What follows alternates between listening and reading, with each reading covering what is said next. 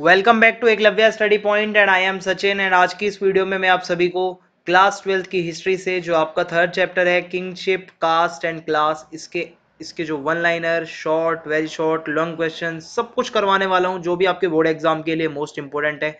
और साथ ही साथ आपके मिड टर्म एग्ज़ाम्स के लिए भी काफ़ी ज़्यादा इंपॉर्टेंट होंगे जितने भी क्वेश्चन अंदर करवाए जाएँगे। सो चलिए फिर वीडियो को स्टार्ट करते हैं।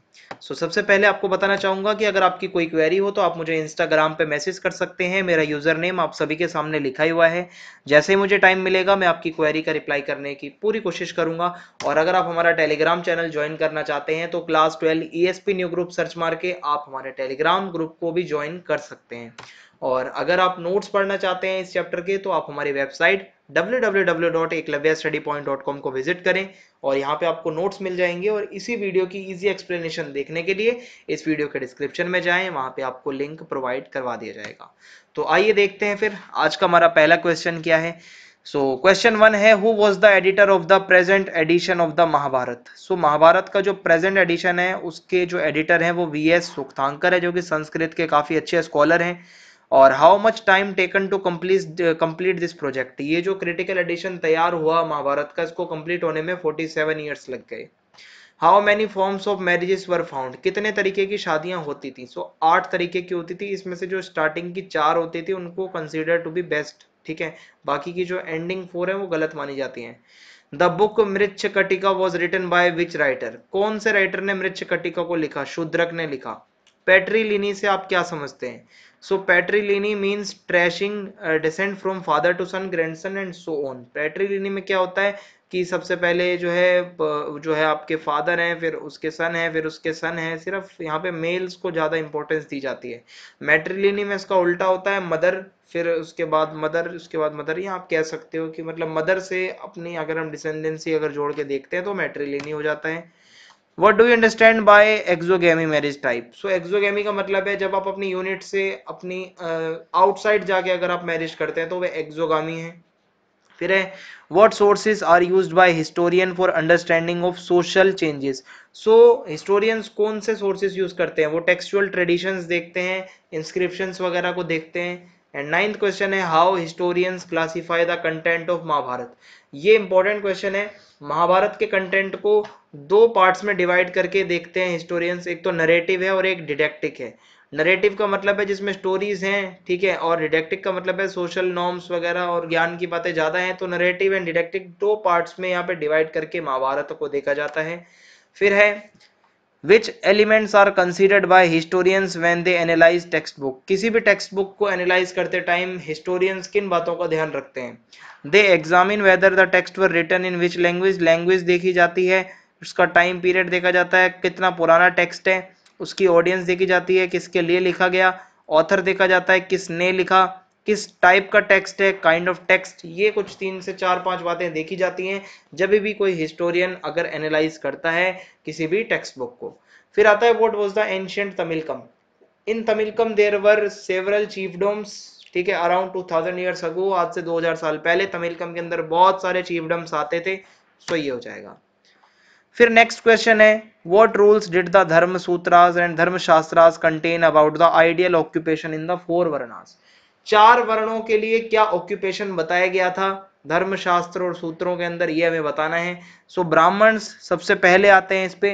ब्राह्मण्स के लिए ये बताया जाता था कि इनको स्टडी करनी है और वेदास की टीचिंग करनी है सेक्रीफाइसेस परफॉर्म करने हैं गिफ्ट ले सकते हैं जो गिफ्ट है मतलब ठीक है, दे सकते हैं।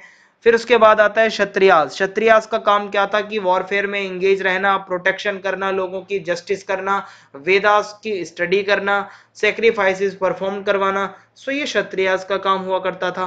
और फिर the last three occupation were also assign to the Vaishya Vaishya जो है वो क्राफ्ट ट्रेड एग्रीकल्चर इसमें लगे रहते थे। ठीक है, यही उनके लिए आइडियल ऑक्यूपेशन था।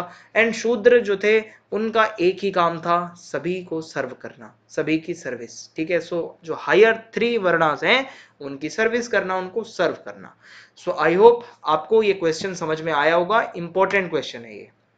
अगला question who was V S Sukthankar what was his contribution in understanding the Mahabharata Mahabharata का क्रिटिकल एडिशन इन्होंने ही तैयार किया था। एंड विया सुक्तांकर वॉज़ अ फ़ेमस संस्कृतिस्ट यानी कि काफ़ी अच्छे स्कॉलर थे संस्कृत के। And under the Sukthankar a team prepared the critical edition of Mahabharata इन्हीं के आ, मतलब लीडरशिप में जो इनकी टीम थी उन्होंने मिलकर महाभारत का क्रिटिकल एडिशन बनाया। क्रिटिकल एडिशन का मतलब है जिसमें प्रोज कॉन्स सब सब सब कुछ क्वालिटी उसके अंदर जो गलतियाँ हैं जो भी कुछ होता है सब एनालाइज किया जाता है। Collecting Sanskrit manuscript of the text इन्होंने संस्कृत मैन्यूस्क्रिप्ट जितनी भी मिली महाभारत की, उन सभी को कलेक्ट किया and written in a variety of script जो अलग अलग स्क्रिप्ट में लिखी थी। Ultimately they selected the verses that were common to most version ज़्यादातर वर्जन में जो कॉमन वर्सेज थे, उन्हीं को यहाँ पे इन्होंने कंसिडर किया and published these in several volumes और फिर इन्होंने महाभारत के फाइनल एडिशन को पब्लिश किया बहुत सारे वॉल्यूम्स के अंदर। थर्टीन थाउज़ेंड पेजेस से भी ज़्यादा की थी भैया what were the term of gotras ठीक है what were the rule of the gotras gotra क्या था? देखो ईच गोत्र वॉज़ नेम्ड आफ्टर अ वैदिक सीर कोई वैदिक ऋषि होता था, उसी के नाम पे गोत्र होता था। ठीक है, कश्यप हो गया, जैसे कि, ठीक है, भृगु हो गया। And all those who belong to the same gotra ठीक है? जो भी उस uh, मतलब ऋषि के उसमें आते थे वो फिर उनका गोत्र सेम हो जाता था। रूल्स क्या होते थे? देखो भाई गोत्र का सबसे इंपॉर्टेंट रूल ये होता था कि जो विमेन होती है उसको अपनी शादी के बाद अपने फादर का गोत्र छोड़ना पड़ता था अपने हस्बैंड का गोत्र अडेप्ट करना पड़ता था सॉरी अडोप्ट करना पड़ता था। ये सबसे इंपॉर्टेंट सबसे मेन रूल था। सेकंड रूल आता है सेम गोत्र में आप मैरिज नहीं कर सकते ये काफ़ी ज़्यादा इंपॉर्टेंट गोत्र के जो है रूल्स थे। तो आपको याद रखने हैं। Why were mothers important in Satavahana rule Satavahana rule के अंदर मदर्स की इंपॉर्टेंस क्यों थी? सतवाहना रूल्स ठीक है rulers were identified through metronymics ये अपने माता, अपनी मदर के नाम से जाने जाते थे। ऑल दो दिस में suggest that mothers were important ठीक है, हमें नाम मिलते हैं गौतमी पुत्र श्री सतकिनी गौतमी पुत्र वसीथी पुत्र। ठीक है? तो ये क्या है? इनकी मदर्स के नाम है, जिनसे ये नाम स्टार्ट कर रहे हैं। So we can say that mothers were important in Satavahana rule आगे बढ़ते हैं। Describe the duties of Chandalas Chandalas की क्या ड्यूटी थी? अब ये हमें बताने हैं। सो so भाई चंडाल्स को विलेज के आउटसाइड रहना पड़ता था। यूज़ डिस्कार्डेड यूटेंसिल्स जो फेंके हुए यूटेंसिल्स बर्तन होते थे, वो चंडाल्स को यूज़ करने पड़ते थे। Wear clothes of the dead मरे हुए लोगों के कपड़े पहनने पड़ते थे और जो आयरन के ऑर्नामेंट्स होते थे, वो इनको पहनने पड़ते थे, डालने पड़ते थे। They could not walk around in villages and cities at night रात के समय इनको मना था विलेजेस और सिटीज़ में वॉक करना। And they had to serve as executioners and dispose of the bodies of those who had no relatives किसी के रिलेटिव नहीं है और अगर कोई मर गया है तो उनकी बॉडी को जलाना, उनको दफनाना, जो भी काम होता है भाई एंडिंग का, वो चंडाल्स करते थे। फिर उसके बाद अगला क्वेश्चन है discuss whether the Mahabharata could have been the work of a single author क्या महाभारत को किसी एक सिंगल ऑथर ने लिखा? ये हमें बताना है। So probably compose by charioteer यानी कि जो चेरिएटर्स होते थे जिनको हम सूत भी कहते हैं बार्ड्स कहते हैं, ये क्या करते थे? किंग्स के साथ जाते थे वॉरफेयर में और वहाँ पे फिर लिखते थे जो भी वो वहाँ पे देखते थे जो वॉर चलती थी। From the fifth century B C fifth century B C से माना जाता है। ब्राह्मण्स ने ये पूरी स्टोरी लिखना शुरू करी महाभारत की। And also possible that the upheavals that often accompanied the establishment of these states so where old social values were often replace by new norms and another phase in composition बहुत एक और यहाँ पे phase आता है ये two two hundred B C से two hundred C के बीच का जहाँ पे बहुत सारे मनुस्मृति वगैरह से भी और जो ब्राह्मणिकल जो टेक्स्ट थे उनकी भी बहुत सारी चीज़ें उठा के इसमें डाल दी गई।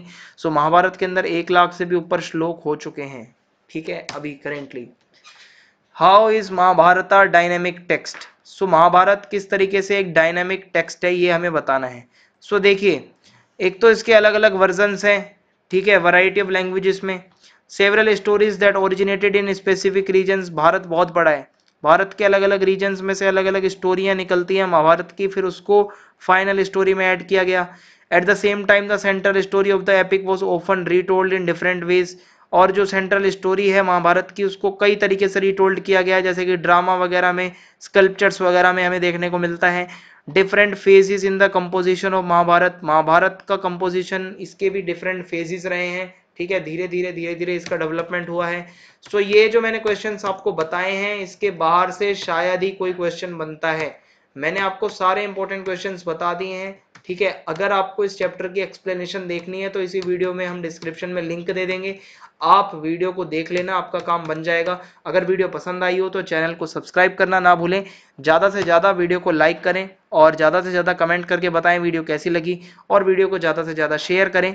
जय हिंद, जय भारत। बहुत बहुत शुक्रिया आप